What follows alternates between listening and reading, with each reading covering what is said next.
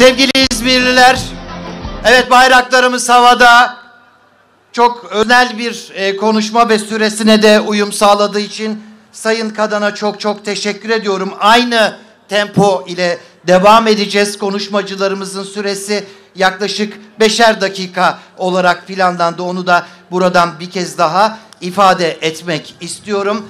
Ve e, etkinliğimizin tamamlanmasına e, mutakip de Cumhuriyet Meydanı'na doğru sessiz bir yürüyüş ve ardından basın açıklaması gerçekleşecek. Bunu da buradan bir kez daha ifade edelim ve bu organizasyonda etkinlikte emeği geçen demokratik kitle örgütlerini de e, sizlere ara ara duyurmak isterim. Ahlak Kültür ve Çevre Derneği Akçev, Alevi Kültür Dernekleri Yamanlar Şubesi, Altın Lider Derneği, Altın Lider Eğitim Kültür ve Gençlik Derneği, Anadolu Gençlik Derneği İzmir Şubesi, Askon Anadolu Aslanları İş Adamları Derneği İzmir Şubesi, Ay Yıldız Kur'an Kursu Öğrencileri Yaşatma Derneği, Azerbaycan Türkleri ve Dost Dernekler Federasyonu, Bereket Gıda Bankası Yardımlaşma ve Dayanışma Derneği, Beyaz Ay Derneği, Birlik Vakfı İzmir Şubesi, Bornova Kızılay, Burhan Eğitim Kültür ve Dayanışma Derneği, Büro Memur Sen ve daha devamı da var. Elimdeki liste harf sırasına uygun olarak listelenmiştir. Onu da belirttikten sonra ikinci konuşmasını gerçekleştirmek üzere efendim İzmir Sivil Toplum Kuruluşları Platformu Başkanı Sayın Uğur Bayrağı sahneye davet ediyorum. Huzurlarınızda alkışlarla efendim.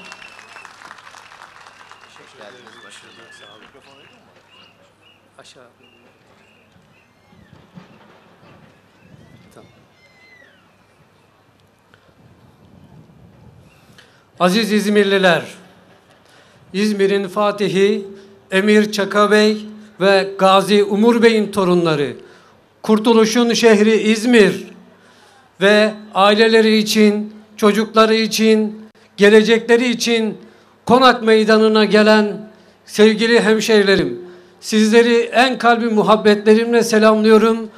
Programımıza, buluşmamıza hoş geldiniz, sefalar getirdiniz. Öncelikle Perşembe günü İzmir'imiz olarak yaşadığımız deprem dolayısıyla hepinize geçmiş olsun dileklerimizi iletiyoruz.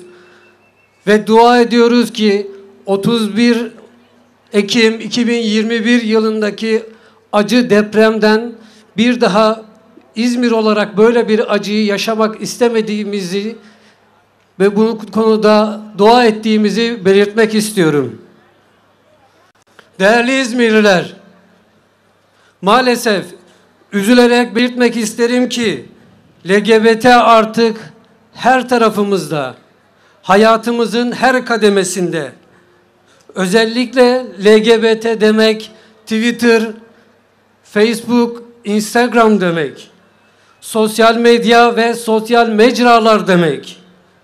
LGBT örgütlerinin uygulamakta olduğu propagandaları artık kurum, STK ve şirketlerin önüne geçmiş bulunmakta. LGBT dayatmalarıyla çocuklarımızın, geleceğimizin, duygu ve gençlerimizin duygu ve düşüncelerini LGBT ideolojisi tarafından ele geçirilmeye ve yönlendirilmeye çalışılıyor. Dolayısıyla artık bir yol ayrımına gelmiş bulunmaktayız. Ya ailemizi, geleceğimizi temina, geleceğimizin teminatı olan çocuklarımızı LGBT tehlikesine teslim edeceğiz ya da çocuklarımızın LGBT dayatmasından korunması için karşı koyacağız, mücadelece, mücadele edeceğiz. Evet İzmir, mücadele edecek miyiz? Hep beraber tabii, tabii ki karşı koyacağız, mücadele edeceğiz. Can İzmirliler, Aile bu milletin temel mihenk taşıdır. Sarsılmaz kalesidir. Çimentosudur. Burada ailelerimizin geleceği, çocuklarımızın yarınını kurtarmak için buluştuk. Ailemiz ve çocuklarımız bizim kırmızı çizgimizdir. bu milletin her ferdinin, her ailesinin tek yürek, tek bilek olarak din, dil, ırk, mezhep, siyasi görüş, ideoloji farkı gözetmeksizin ve farklılıklarımızı bir kenara koyarak ülkesini, vatanını seven herkesin çocuklarımızın LGBT dayatmasından korunması için LGBT tehlikesine karşı koyması ve mücadele etmesi gerekmektedir.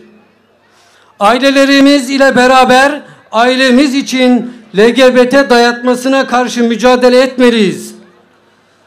Kıymetli İzmirliler, aile kurumumuzun yozlaştırılmasına, toplum yapımızın bozulmasına, manevi değerlerimizin çiğnenmesine, çocuklarımızın cinsiyetiyle oynanmasına ve çocuk istismarına, kadınlarımızın değersizleştirilmesine zemir hazırlayan bu dayatmaya karşıyız ve sonuna kadar da karşı olacağız.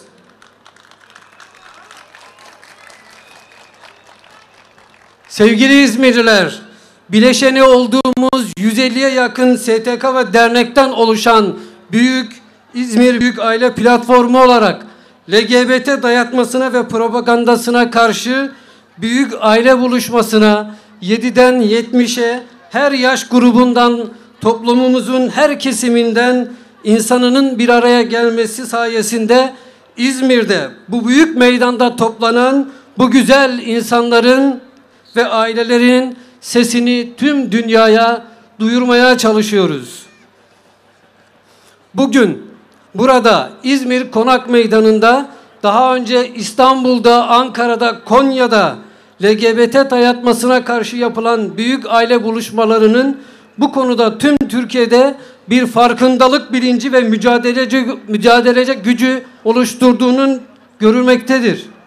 İnşallah yakın zamanda bu mücadele tüm Anadolu şehirlerine yayılacak ve sahip çıkılacaktır. Buna inanıyoruz. Peki bu sizce yeterli mi? Hayır, kesinlikle yeterli değil.